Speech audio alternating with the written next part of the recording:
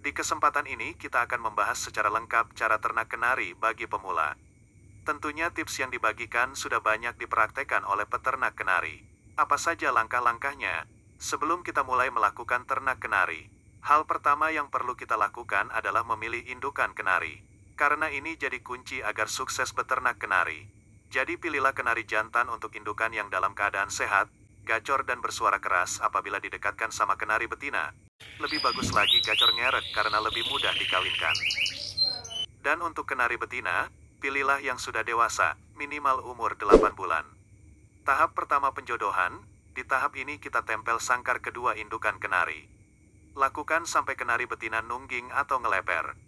Selama proses penjodohan berlangsung, kita perlu memberi asupan nutrisi yang seimbang ke kedua indukan kenari, misalnya pemberian pakan biji-bijian yang berkualitas, pemberian sayuran dan jagung manis secara bergantian, pemberian telur rebus dua kali dalam seminggu, dan berikan juga tulang sotong. Tahap selanjutnya, apabila kedua indukan kenari sudah jodoh, masukkan indukan kenari jantan ke dalam sangkar kenari betina.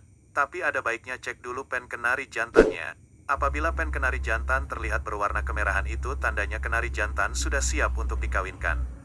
Karena dengan ciri-ciri ini kemungkinan berhasilnya cukup besar, Beda dengan pen kenari jantan yang berwarna pucat walaupun kenari itu dalam keadaan gacor.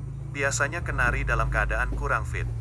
Untuk mendapatkan hasil yang maksimal, lakukan masa penjodohan dan persiapan selama tujuh hari. Karena di masa tujuh hari ini agar kedua indukan nutrisinya terpenuhi dengan pakan yang sudah kita siapkan tadi. Apabila kedua indukan kenari berantem atau tidak mau kawin ketika disatukan, cabut kenari jantannya, Gantung berjauhan antara kenari jantan dan betina usahakan antara kenari jantan dan betina jangan saling lihat, hanya dengar suaranya saja. Satukan lagi pada malam hari, lakukan berulang sampai kenari terpantau kawin. Biasanya kalau menggunakan cara ini, kenari langsung kawin.